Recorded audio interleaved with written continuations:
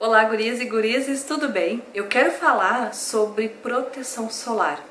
Na verdade, eu quero mostrar o que eu estou usando para me proteger do sol, porque eu sempre recebo perguntas assim, ó, qual protetor solar para pele oleosa que eu recomendaria ou algum que eu usei e gostei. Eu sempre respondo assim: que eu realmente, de fato, eu não sou a melhor pessoa para falar sobre proteção solar para as peles oleosas. Apesar de que a minha é mega oleosa, eu não gosto de protetor solar que deixa a minha pele seca.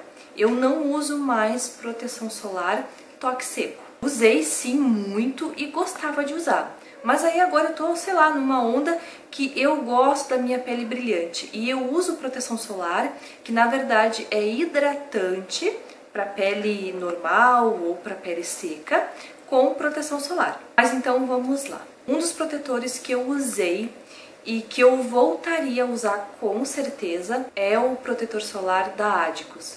Ele é maravilhoso, protege super bem, deixa a pele lindíssima.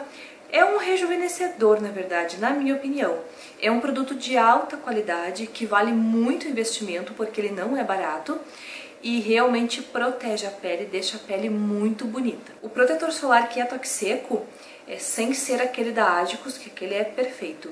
Na minha pele, os demais, eu notei com o passar do tempo que eles deixam os meus poros mais dilatados. Eu realmente tive essa percepção de que os meus poros, eles ficavam mais dilatados, ficavam mais sujos, não sei, minha pele demorava a ficar limpa, a minha pele tinha um aspecto grosseiro. Então por isso que hoje eu não uso mais. Eu sei que essa percepção é de pele para pele. Tem pessoas que têm a pele oleosa, mega oleosa como a minha, e não podem nem passar perto de produtos hidratantes, que a pele fica com espinha, fica com bolinha e produz muito, muito mais óleo. Então por isso que é bem relativo, mas na minha pele a hidratação tá caindo super bem.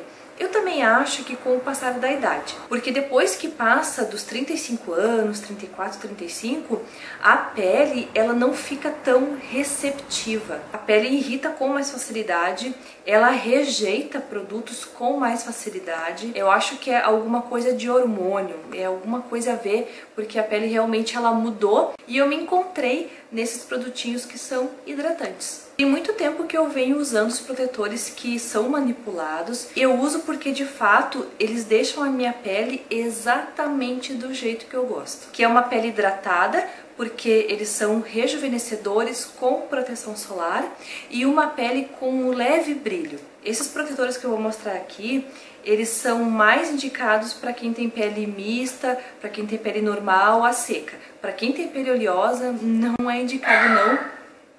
Para quem tem para quem tem pele oleosa, não é lá muito indicado. Todos os dias pela Todos os dias pela manhã eu tomo uma cápsula de proteção solar porque eu também uso proteção solar oral. Essas cápsulas eu já mostrei em outros vídeos. As cápsulas de proteção solar é algo que me ajuda demais, fortalece minha pele e também é uma proteção a mais, né, de dentro para fora. E todos os dias pela manhã eu vou intercalando entre dois protetores. Ambos são hidratantes e não servem muito para pele oleosa, como eu falei. Um leva o chá verde e vitamina E, então me dá ali uma ação de rejuvenescimento, hidratação, tem FPS 30. O FPS 50, ele deixa minha pele esbranquiçada, então eu não gosto de usar muito ele. E como eu já tenho a proteção solar via oral, aí eu acho que o fator de proteção 30 para mim já tá bom e ao longo do dia eu retoco o meu protetor. Às vezes também eu uso um outro hidratante com FPS 30 e que contém ácido hialurônico, tencine e demai.